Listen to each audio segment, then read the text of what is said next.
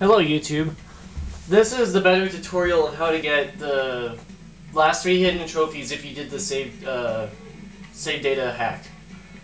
And so what happens is you, for one of the trophies, you start off in Tsunami Reef. So when you start up there, you have to drive all the way down to this base, or this camp. And driving all that way would take a long time, but I found an easier way. And what happens is with the save data, there's a spot right here.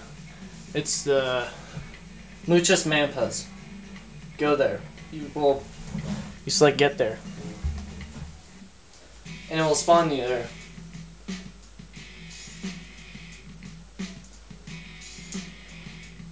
And then from here, you drive, and I say you drive all the way up to the camp, right there taking the route. And since this does take about 5 or 10 minutes, I'm going to pause it, then I'll show you when I'm right there.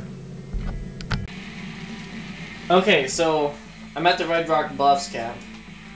As you see, I've driven all the way around. So all you have to do now is just find the camp and drive into it.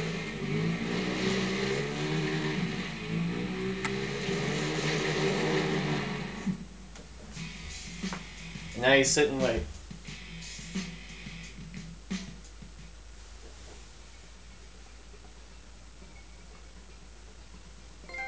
And there's your trophy. And you do that for the, uh, and for the other trophies, I currently did the Tsunami Reef to Red Rock Bluffs. The other two hidden trophies are from White Flats to Pinwheel Ridge Camp and from Offshore Shack to Tsunami Reef. And thanks for watching.